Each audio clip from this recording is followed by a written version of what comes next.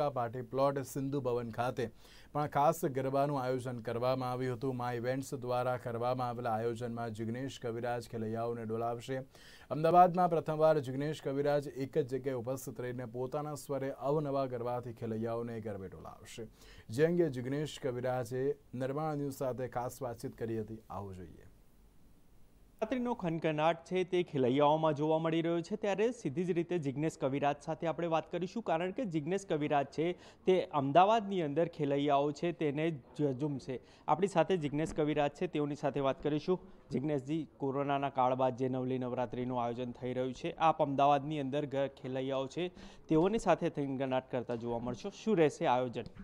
બિલકુલ. ખાસ મને એ વાતનો આનંદ છે કે હું અમદાવાદના અંદર ફર્સ્ટ વાર નવરાત્રિ કરી રહ્યો છું. તો અમદાવાદની જનતા, અમદાવાદની અમદાવાદી જે મારા ચાહકો જે છે, એમના માટે ખૂબ આનંદની વાત છે, મને પણ ખૂબ આનંદની વાત છે. અને ફર્સ્ટ વાર હું નવરાત્રિ અમદાવાદમાં નવ દિવસ એક જ જગ્યા પર, એટલે કે અમદાવાદ સિંધુ ભવન રોડ રાધિકા પાલટી પ્લોટમાં કરી રહ્યો છું. અમારે માં events management, Jaydeepsinh Gohil, JD Bapu JD digital channel અને અમારે મોનિકાબેન શાહ સિદ્ધિ વિનાયક ઇવેન્ટ્સ હોલિડેઝ તો એમના દ્વારા, ઓર્ગેનાઇઝર દ્વારા આ નવ દિવસનો કાર્યક્રમ રાખેલો છે.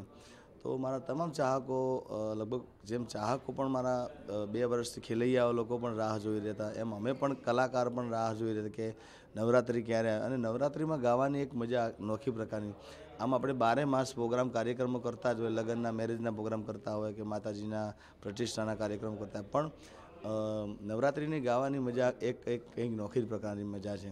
તો આ ફેરે મન મૂકીને આનંદ કરવાનો છે. તો મારા ચાહકોને બસ ખાસ મારી એટલી વિનંતી કે તમે જલ્દીથી કોન્ટેક કરો આમનો અને પાસીસ લઈ લો. ચોક્કસથી વિશેષ આયોજન રહેશે. કારણ કે હજુ પણ કોરોના છે તે જોવા મળી રહ્યો છે. ત્યારે શું વિશેષ આયોજન રહેશે અને કેવી પ્રકારનો તૈયારીઓ છે?